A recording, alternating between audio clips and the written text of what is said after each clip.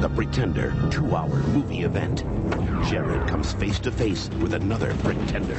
He's a time bomb waiting to detonate. He's evil. He's wicked. Now I decide who lives or dies. And he's Jarod's brother. Prepare for the ultimate showdown. Not this time. A special Pretender movie, 9, 8 Central NBC next Saturday.